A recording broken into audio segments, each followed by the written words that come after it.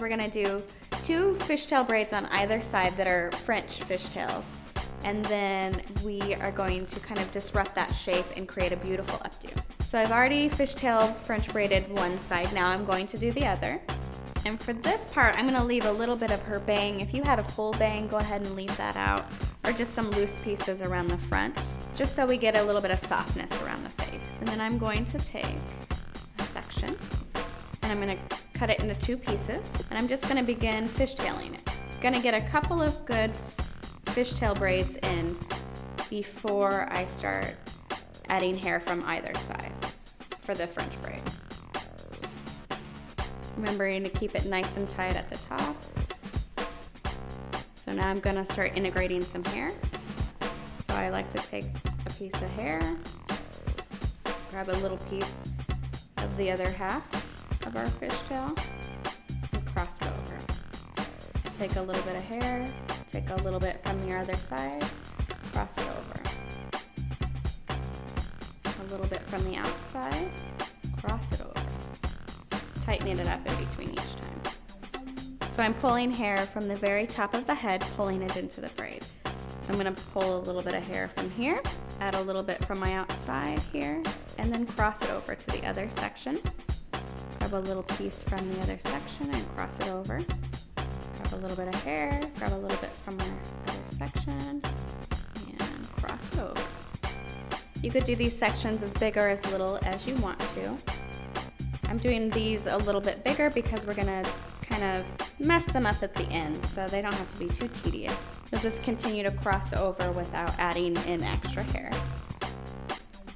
And that usually happens on one side and then the other side is usually getting the nape into the hair. A little bit from the nape, cross it over, pull it tight. We're officially out of hair on that side. You just take a little from that section, cross it over, and we're officially out of hair for the other side also.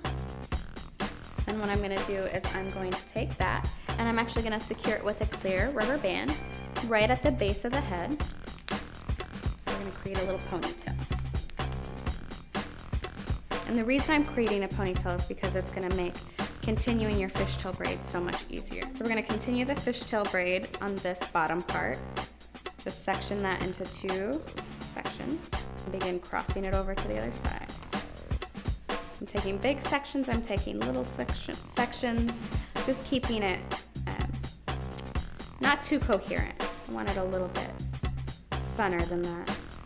Go to the end and then secure it with a small clear elastic band. And then do the same thing on the other side. okay, so I just completed the other side and the other braid. Now what I'm gonna do is I'm gonna start loosening this up. And every so often, I'll push it up and see if I like the shape that it's happening. I'm gonna now remove the plastic that I put on there before. I'm gonna pinch right where I had that plastic with my hand. And I'm gonna take one hair out of the bottom. By one hair, I mean like five hairs. Then I'm just gonna start pulling that hair, keeping my fingers pinched and you can see it's slowly moving the braid up.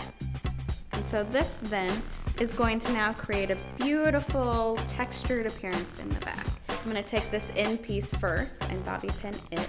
So I just, I'm tucking the loose ends underneath, okay? Then I'm going to do the other side, same thing. So I'm actually gonna take it, wrap it around the other direction, and there you have your fishtail updo.